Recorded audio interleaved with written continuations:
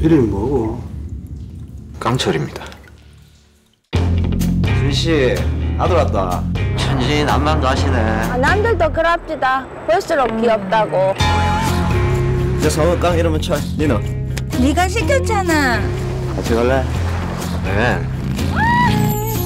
준수야 세상이 깡패다 단대히 좀 살자 니 잘해라. 나는 진짜 잘하고 있거든 아들, 엄마가 고맙다. 송이씨 어딨노? 내가 쫓아올게 내 아직 준비도 안 됐는데 누구 맘대로 돈 맘대로 돈 돈! 깡쳐라 힘드니? 뭐든지 하겠다고 내 찾아온 거 아이가? 절박해야 깡이 생기거든.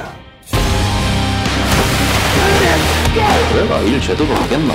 그냥 계속 이래 살아라 그래도 좀 살자고 너 슬슬 갖고 주고. 세상에 언제 우리 배전이 싸다 순이씨 내가 꼭 살려줄게